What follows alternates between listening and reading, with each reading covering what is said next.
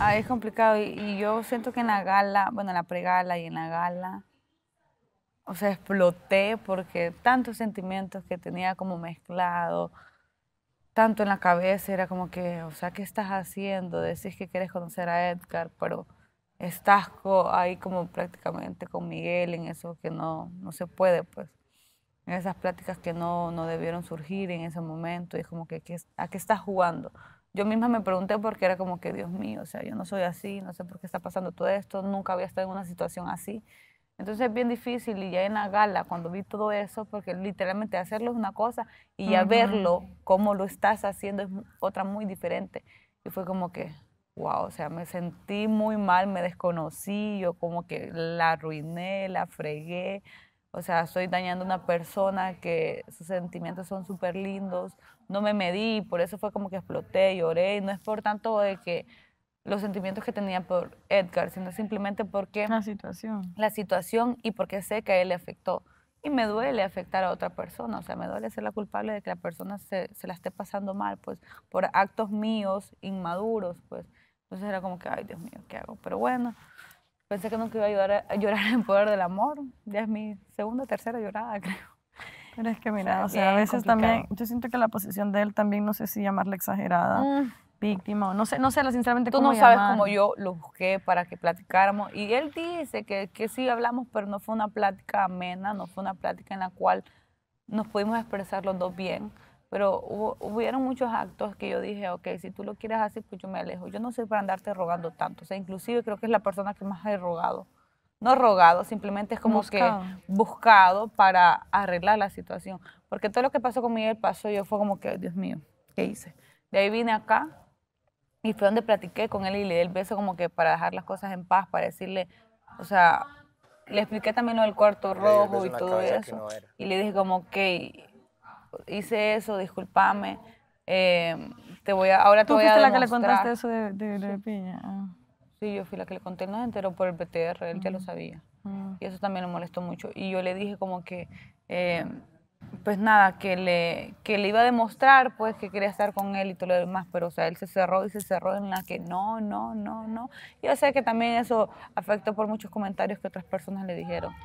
Pero bueno, o Pero sea, es que igual, o sea, es que lo que te digo yo, o sea, ahí regresamos a lo mismo que Jessica decía la vez pasada, se enamoró en tres días. O sea, para hacerse tan sufrido. Acuérdate sí, porque que- si no le hubiera importado tanto el tema, como que, mira, Grisel me hubiera dicho, la verdad que te estoy viendo que tú tienes mucho acercamiento con Miguel, parece que se gustan, y aquí dejamos todo, ya, relájate, no te preocupes. No se hubiera puesto en ese plan, yo lo vine a buscar y él no quería hablar.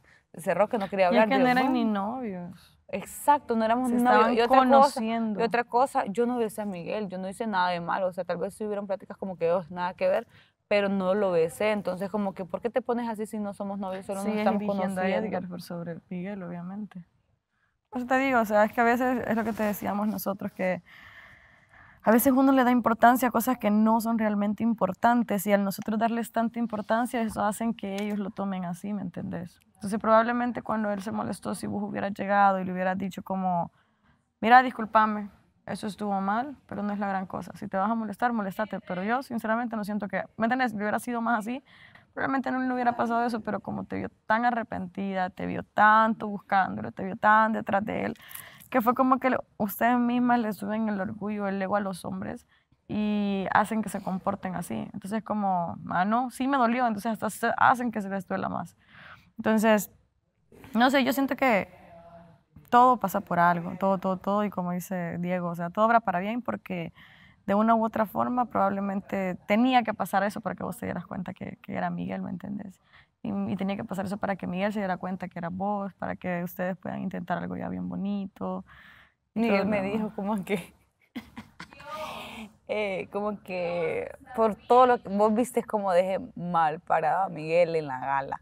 Como que no, yo no quiero nada, ni hablé nada de él. Como que no, no, o sea, Miguel ya, ya punto de aparte, yo quiero hablar de Edgar y quiero conocer a Edgar y me voy por Edgar. Ujú. Y solo era Edgar en mi boca, en mi boca. Y yo en eso volteé a ver a Miguel y me quedé viéndole así como que, o sea, con una cara de odio, o sea, y yo como que, Dios mío, ¿qué hice? Pero sí me, sí me daba un poco de, o sea, como que, no sé. Da pena. Sí, pues, o sea, da pena porque igual tus sentimientos también. Decís unas cosas y pues sentís otras, pues. Y nada, y él después me confesó como que sí, o sea, sí le molestó mucho todo lo que yo Obvio, lo dije. haces O sea, mal. tú me hiciste a un lado, me dice, es como que todo fue... Él y también no estaba qué. mal, obviamente, en eso de confusión y Claro, todo también. eso, no Igual, él, él siempre estuvo así como en esa confusión, pero él nunca habló mal ni, ni de mí ni de, la, ni de Andreina. Edgar, ¿te, te acuerdas en el, en el en esta dinámica de los besos? ¿Cuál? El 3-2-1 de Gris con, con Piña. Ujú. ¿Te acuerdas? Lo que generaste, cabrón. A veces creo que fuiste el caprichito. Mm.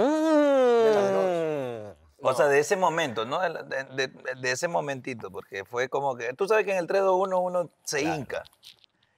Yo creo que fuiste el mantecado, el capricho.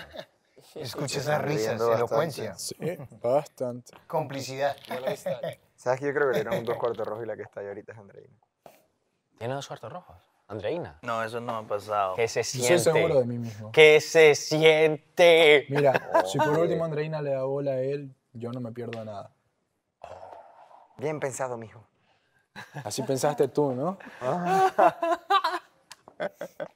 ¿Y sí? Obvio. Del odio al amor sabe solo hay un paso. Es así, camarada. Ay, Dios mío. Tranquilo, es Estoy tranquilo. Estoy tranquilo.